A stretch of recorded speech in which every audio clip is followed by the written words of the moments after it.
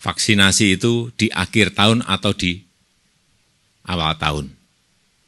Akhir tahun 2020 atau di awal tahun 2021.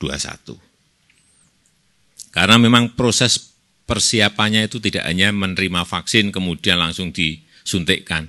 Kita juga harus menyiapkan distribusi ke seluruh tanah air. Ini yang tidak mudah. Mendistribusikan vaksin itu tidak mudah. Ini bukan barang seperti barang-barang yang lain. Memerlukan apa? Cold chain, kedinginan dengan derajat tertentu.